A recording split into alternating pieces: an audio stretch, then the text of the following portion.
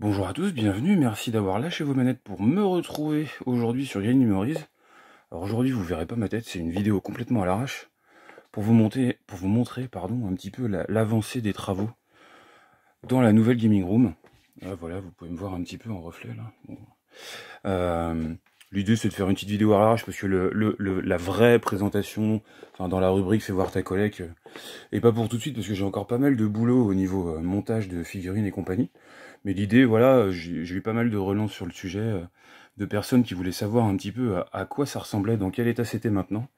Et eh bien voilà, on va en parler maintenant. Donc on ne peut rentrer que par cette pièce-là, par cette porte-là.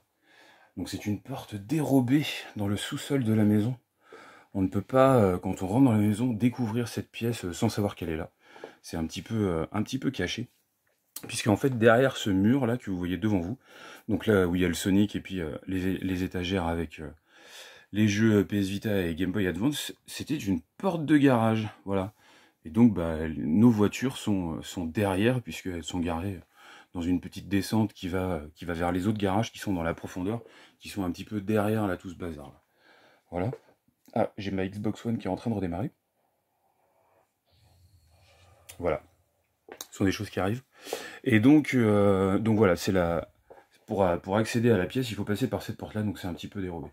Donc au niveau finition, bah, il y a encore un petit peu de boulot, puisque j'ai des baguettes de finition euh, à poser tout le long là. Voilà. Euh, donc pour rentrer un petit peu dans les détails, c'est du lambris PVC qu'on a mis au plafond. je sais pas si ça va rendre vraiment grand chose Là, vu comme ça, il y a encore un petit peu de travail de nettoyage aussi, puisqu'on a quelques taches de peinture euh, qui traînent. Voilà, donc c'est du lambris PVC, on a un petit peu galéré à le poser. Hein. Pour ceux qui suivent euh, sur Facebook, euh, il, a chuté. Il a chuté, on l'avait posé, donc c'est posé sur des tasseaux de bois, je pourrais rentrer dans le détail avec des photos qui datent des travaux, pour ceux que ça intéresse vraiment. Donc c'est posé sur des tasseaux de bois qui sont eux-mêmes fixés via des équerres dans le plafond qui est en béton. Euh, l'idée étant de ne pas avoir à coffrer partout, il y a des tuyaux, puisque en fait, juste ici, il y avait une poutre. Ici, si ça descend un petit peu, vous voyez une légère pente là, Voilà, ici ça descend un tout petit peu. Euh, parce qu'en en fait, il y a un énorme tuyau d'évacuation des toilettes, pour ne pas le nommer, qui passe là. Et du coup, voilà, euh, utiliser ce, système de faux plafond nous permettait d'éviter d'avoir à gérer à gérer tout un tas de coffrages. Et puis, ça, ça c'est plus lisse, c'est plus uniforme, c'est plus sympa au niveau du rendu. Euh, donc voilà pour le faux plafond. Ensuite, bah, c'est du placo qui est un peu partout euh, au mur, puisque en fait, bah, c'est des murs béton. Euh, donc là, ça donne sur le reste. De ce côté-là, on a le reste de la du sous-sol que je ne vais pas vous détailler aujourd'hui. et puis derrière ce mur-là, bah, là, c'est la rue. Là-bas, voilà, comme je vous disais, il y a, les voitures. Donc c'est des murs béton, hein, c'est les murs extérieurs de la maison. Là, il y a un mur de parpaing qui a été monté à la place de la porte de garage. Et donc, bah, on a enrobé tout ça de, de placo. Donc, je sais poser du placo désormais. Je suis devenu un, je suis devenu un bricoleur hors pair. Euh, et donc, voilà. Donc, placo sur les, sur les murs. Et puis, au sol, bah, un parquet, tout ce qu'il y a de plus simple. Hein. C'est pas du premier prix, mais pas loin, hein, parce que euh, c'est pas la peine de trop se prendre la tête avec, euh, avec ce genre de truc-là. Il y, a des, il y a des très bons parquets en moyenne gamme à 10-15 euros. Voilà, j'ai dû prendre un truc à un peu moins de 10 euros le mètre carré euh, mais qui rend très bien. Voilà, c'est très simple à poser. Euh, ça, je savais faire avant.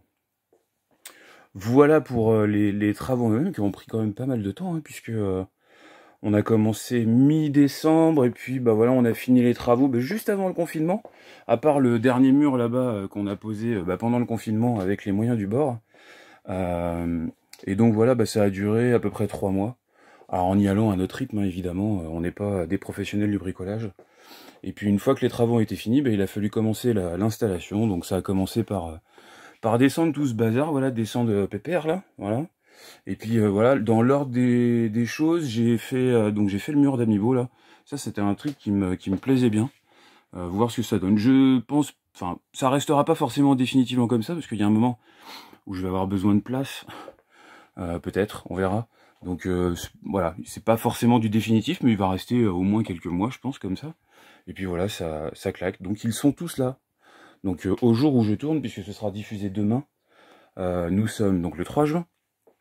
Au jour où je tourne, non, le, non, le 2 juin, pardon. Euh, donc ce sera diffusé le 3, et eh bien ils sont tous là, absolument tous. Même le Megaman doré, Yoshi, le petit diablotin, voilà, etc. etc. Donc après avoir fait ça, j'ai descendu ces étagères-là, là, puis la vitrine qui demande toujours à être remplie.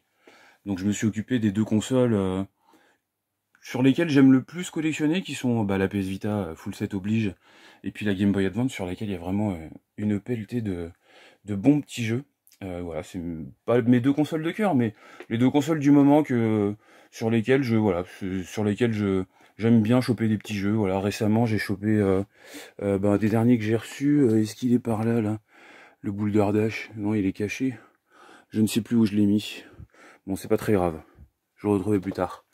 j'ai chopé un petit Boulder Dash sur sur comment dire sur Game Boy Advance. donc après j'ai descendu ce meuble là, pour poser les F4F dessus. de ce côté là on les verra mieux. Voilà. Donc j'ai réussi à toutes les disposer dessus. Bon le problème forcément c'est que bah, maintenant il n'y a plus beaucoup de place. Donc j'en ai, euh, bon j'ai évidemment pour ceux qui ont suivi mes déboires, il y a celle-là qui va avoir un remplacement, euh, un de ces quatre. Puisque j'ai dû, euh, pareil pour ceux qui suivent, détruire le Sonic qui allait dessus pour me le faire remplacer vu qu'il était endommagé. Voilà. donc voilà, j'ai descendu ce meuble là. Après, bah, j'ai installé l'étagère à Blu-ray, même si c'est encore un peu le bordel et puis que finalement il y a eu un petit peu de raménagement. Euh, j'y ai mis euh, un petit peu de, jeux PS4 et One euh, sur les étagères du bas. Puis les Blu-ray, bah voilà, je les ai un petit peu stockés là-bas, il y a de la place. Ça demandait pas forcément à être mis en valeur de la même manière que les jeux.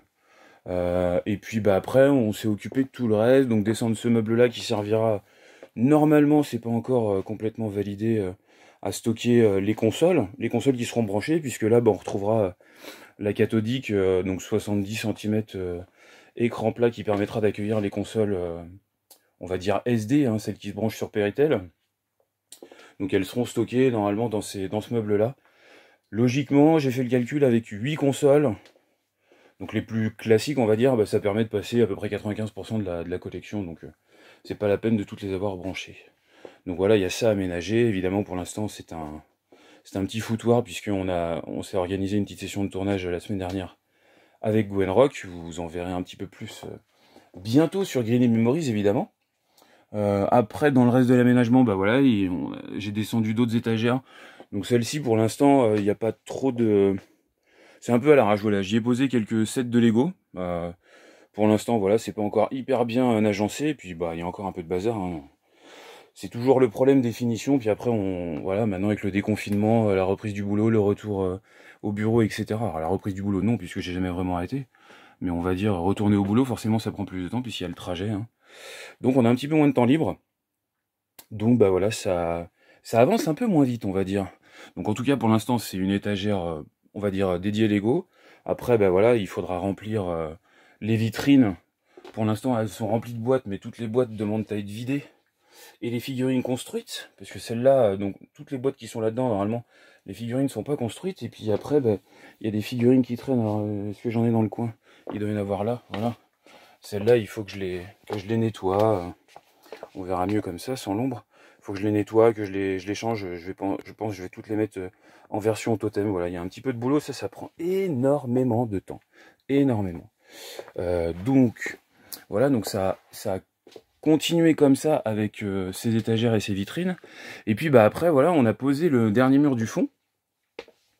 Donc le mur du fond, donc ça a été un petit peu du bricolage, mais bon, l'important c'est qu'il a été posé. Alors on voit moins bien parce qu'il y a un truc qu'on a un petit peu oublié, mais peut-être qu'on va le bricoler plus tard, c'est que on a mis euh, un spot de chaque côté là, un ici et puis un ici, puis on n'a pas pensé que ça allait être un petit peu sombre au fond. Alors il y a d'autres éclairages qui arriveront après, mais là du coup c'est un petit peu euh, c'est un peu sombre. Donc euh, voilà, une fois qu'on a eu posé le mur du fond, il a fallu construire les étagères sur mesure. Donc on a commencé par celle de droite, voilà. Alors désolé si ça bouge un peu, hein, n'oubliez pas, c'est une vidéo à l'arrache. Donc celle de droite, 2,50 m de, de large. Donc bah, vous, l'avez vu sur Twitter hein, si vous me suivez un petit peu là-bas. Ensuite on a construit celle de gauche quand on vient là-bas. Donc il doit faire 2m20 ou 2m30 de large, si je dis pas de bêtises. Voilà. Et puis ensuite on a construit celle du fond, qui est un peu plus courte, qui fait 1m60 de large, si je dis pas de bêtises à peu près. Et puis ensuite est venu euh, le complément avec les petites étagères d'angle, où vont être disposées des figurines, mais là-dessus c'est pareil, il y a encore un petit peu de, un petit peu de boulot. Donc après au niveau organisation, même si là encore c'est pas complètement finalisé, bah, l'idée c'est de, partir dans le temps. On part de ce que j'ai de plus vieux en quelque sorte, même si vous verrez que il y a des, y a des entorses euh, donc on commence avec cette étagère sur la droite avec, euh, voilà, il y a le Master System, NES, euh, Super NES, Mega CD, 32X, Mega Drive, donc tout ce qui est 16 et 8 bits. On a un petit peu de... Bah, on a toute la PlayStation aussi qui est là. Voilà, donc je vais pas détailler tout ça. Hein. C'est pas l'idée de cette présentation-là. donc voilà, on a 8, 16 et 32 bits. On continue en avançant ici, bah, on se retrouve avec la Saturn, la N64, la Dreamcast, la GameCube, la Xbox, la Wii et la Wii U. Voilà, on monte un petit peu dans le temps. Et puis on continue à avancer et euh, on arrive sur cette dernière étagère là où euh, voilà c'est pour ça que je vous disais qu'il y avait des entorses parce que il y a la Wii U qui est là et puis euh, finalement la PS2 est là en bas. Donc c'est pas exactement dans l'ordre mais j'ai fait comme j'ai pu en fonction de la place que prenait chaque console. Donc sur cette étagère là on se retrouve avec la PS3, la Xbox 360 et la PS2 qui prennent de la place. Hein. Ensuite, on a l'étagère centrale. Alors celle-là, elle n'est pas construite sur mesure. J'ai pris euh, un euh, classique de chez Ikea en 5 par 5. Euh, d'ailleurs, si, on doit parler un petit peu coût des, travaux sur la construction des étagères, en matériel, bah, en, matière première, on va dire, il y en a pour 200 balles pour faire les trois, les, trois murs. Donc c'est quand même assez accessible. Alors après, ça donne un rendu qui est fait maison, hein, évidemment. Si on regarde dans le détail, bah, donc là, il y a ce qui, servira à passer les, les, rubans à LED quand je les aurai enfin achetés. Mais ici, effectivement, si on regarde dans le détail, bah, il y a des petits pets, hein, parfois, voilà, ici. Bon, mais voilà, c'est du, du fabriqué maison sur mesure. Si on avait dû euh, euh, aller sur du sur mesure euh, fabriqué, à la commande, bah, c'était pas du tout le même budget. Il hein. faut rajouter un zéro et puis multiplier par 5, hein, à peu près, je pense. Donc voilà, c'est du, c'est du sur mesure. Et au moins, bah, c'est bah, on pourra dire c'est nous qui l'avons fait quoi. Et ça c'est un petit plaisir. Donc au milieu je vous disais une Calax 5 par 5 qui sert à stocker euh, tout ce qui est jeu sur console portable. Donc on commence ici avec la Game Boy, euh, la Game Boy Color. En dessous il y aura euh, tout ce qui est console un petit peu plus exotique, donc comme la la Jaguar, alors voilà, j'ai pas parlé de toutes ces consoles là. Il y aura Jaguar 3DO, Amiga CD32, j'espère ne pas en oublier. et puis on aura aussi les autres consoles portables comme la Game Gear, euh, et puis bah il y a évidemment la Switch hein, qui est sur le côté parce qu'elle est un petit peu à part elle, voilà. Euh, et puis bah voilà WonderSwan, euh, Virtual Boy. bah là j'ai stocké mes UMD vidéo parce que je savais pas trop où les mettre, mais ils ont pas trop grand chose à faire là. Et puis tout en bas, vous les verrez pas très bien, mais tout ça là, les ces, deux cases là et puis celle qui est derrière qu'on voit pas bien qui est cachée là, ce sont des laserdiscs. Alors, pour ceux qui connaissent pas les laserdiscs, bah, c'est l'ancêtre du, du DVD. Enfin, ça arrive un petit peu en même temps que le DVD. Ce sont des disques de la taille d'un vinyle. Et, euh, et, dessus, on a la qualité d'une cassette vidéo, sauf que ça ne s'altère pas. Et on a un très bon son. Voilà pour résumer grosso modo. C'est un support très très noble avec des belles pochettes et tout. Mais bon, il s'est fait défoncer par le, par le DVD, évidemment. Et puis de ce côté-là, euh, le reste des portables, donc un peu plus moderne, avec euh, la PSP, l'ADS là-bas, et puis euh, la 3DS ici. Voilà, il y a encore évidemment un peu de rangement à faire. Voilà, et puis bah là, bah, forcément, euh, ce qui prend du temps aussi, c'est euh, le référencement dans l'application Collectors, donc CLZ, de tous les jeux. Donc faut les flasher un par un, tout ça, ça prend un petit peu de temps. Donc là, c'est ceux qui sont pas passés du premier coup, il va falloir que je les rentre à la main, voilà. Désolé si c'est un peu flou. et donc ça, forcément, ça prend un temps fou on doit être à peu près autour de, de 6000 jeux dans cette pièce, euh, en comptant tout, hein, euh, de, la, Master System, voire de l'Atari 2600, hein, puisque voilà, je l'avais oublié celle-là. J'ai un petit peu d'Atari 2006 aussi. Euh, donc de l'Atari 2006 jusqu'à la Xbox One X, voilà, toute génération confondue, ben voilà, il doit y avoir à peu près, à peu près 6000 jeux. Et j'en ai référencé à peine 2000 pour l'instant, donc il y a encore un peu de boulot. Et les référencer, c'est c'est fondamental puisque c'est là qu'on se rend compte que ben, on a des doubles. Voilà, au fur et à mesure, on a, on a acheté des doubles. Hein. Deux PBS 6, deux Ridge Racer 5. Et puis on se rend compte aussi qu'il y a des jeux qu'on a sur plusieurs supports. Alors Splasher aussi. Splasher sur PS4, ben, il était sorti chez LRG et puis chez, euh, chez euh, Red Art Games aussi. Voilà. Puis bah, moi comme un con, je l'ai acheté deux fois, hein, sans trop faire gaffe à ce que j'avais pris. voilà, donc tous ces jeux qui sont là, là, vont se retrouver à vendre incessamment sous peu, parce que bah, c'est des jeux que j'ai sur plusieurs supports. Ah, voilà, Neurovoider par exemple, ça, bah, je l'ai sur PS Vita. Donc c'est rigoureusement, le même jeu sur les deux supports, donc aucun intérêt de l'avoir sur ces deux supports. On n'est pas comme dans les années 80-90, où voilà, je vous ai fait une petite photo pour les, les, jeux Aladdin il n'y a pas très longtemps sur Twitter. Bah là, on a six versions différentes là. 6 même plus. Alors pas complètement parce que j'ai le portage sur Game Boy Advance de, de la version Super NES qui là du coup est assez fidèle. Mais si on, on, on nommait ça, ben voilà, on a 6 Aladdin et les 6 sont différents. Alors peut-être euh, Game Gear et, Master System ils doivent être assez proches. Mais voilà, les, jeux sont vraiment différents. Puis il y en a un qui est sur portable, l'autre qui est sur l'autre qui est sur console de salon. Donc euh, ça justifie de garder euh, plusieurs versions. Et encore, bon, ça se discutera. Voilà, faut que je me mette d'accord encore avec moi-même sur sur les jeux à conserver, parce que voilà, c'est un peu le problème euh, par manque de place. Il faut faire des choix, garder les meilleures versions. Donc il y a encore un peu de boulot, c'est pour ça que j'ai quelques jeux à vendre et puis qu'il y en a encore euh, sans doute qui vont dégager. je réfléchis à ce que je pourrais vous dire de plus. bah voilà, alors ce coin-là, on a essayé de le laisser un peu soft pour l'instant, puisque l'idée L'idée c'est que ce soit pas trop chargé. Donc on a vraiment euh, deux salles, deux ambiances, avec euh, d'un côté euh, la partie haute définition, avec l'écran 4K puis les consoles récentes qui sont branchées dessus, même si elles ne le sont pas toutes. Hein. Il manque Wii U, PS3, Xbox 360, etc. elles le seront incessamment sous on va dire. Et puis on a un côté beaucoup plus chargé qui ressemble plus à, l'ancienne gaming room, là où on tournera, etc. Où bah là, voilà, effectivement, bah il y en a partout. Hein. Il y en a partout, il y a même les, on va se mettre dans l'autre sens pour bien les voir. Voilà la fiche de Sonic. Et puis euh, la fiche de Bernie. Je vais essayer de vous prendre bien comme il faut. Voilà. Oh, il est pas beau, mais s'il est beau. Puis dédicacé, hein, pour ceux qui n'étaient pas au courant. Voilà, dédicacé le jour de mes 26 ans. Il y a la bagatelle de 14 ans. Oui, ça ne nous rajeunit pas les enfants. Euh, voilà, que vous dire de plus? Ben, Je ne sais pas trop. Ça fait une vidéo déjà de 17 minutes. Hein. J'avais pas prévu de passer autant de temps. Euh, donc bah, j'espère que ce petit aperçu vous aura plu. Euh, bah, si vous avez des questions, n'hésitez pas à les poser parce que ça pourra servir pour la future présentation qui aura lieu dans quelques mois. Je, je garantis pas qu'elle ait lieu sur 2020 parce que on croira pas comme ça. Vraiment, le plus gros des travaux évidemment est fait. Ça va de soi, mais il reste encore beaucoup de, temps à passer sur la mise en place. Mais ça, c'est du kiff. Hein. c'est voilà, c'est mettre en place toutes les, figurines Sanseiya, monter les sets de Lego qui restent à être montés voilà, récupérer ma F4F pour enfin pouvoir l'exposer, etc. Continuer à ranger les jeux, les référencer, voilà. C'est énormément de boulot, mais euh, mais c'est un bon kiff. Donc euh, donc c'est pas euh, voilà, il y avait la phase de travaux pendant laquelle bah, on, voyait on voyait pas trop l'avancement.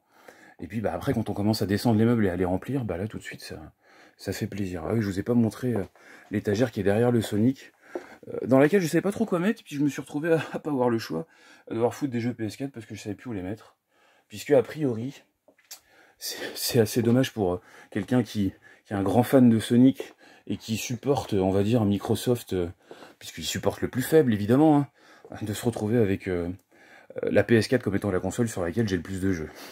Voilà, c'est assez cocasse. Dernière petite anecdote, et puis je vous laisse. je voulais faire une petite dédicace à l'ami Greg. Voilà, Greg, je pense très fort à toi. Merci encore pour ce magnifique cadre. Et fais pas le con, on compte sur toi. Voilà, c'est tout ce que j'avais à dire. Bien, euh, ça termine cette vidéo. Donc euh, voilà, si vous avez des questions à poser, n'hésitez pas à le faire. Ça servira pour la prochaine qui aura lieu euh, en peut-être fin d'année, peut-être début d'année prochaine, on verra bien. je me servirai de toutes les questions que vous avez posées pour vous apporter des réponses. Si vous avez des questions sur l'aménagement, sur comment le toit, comment le plafond a été posé, comment on a fait les étagères, etc. tout ce qui peut servir à l'aménagement, n'hésitez pas. Enfin voilà, je j'ai appris plein de choses à l'occasion de ces travaux. Donc si ça peut servir, ce sera formidable. Et bien sur ce, vous pouvez évidemment retourner jouer à la console.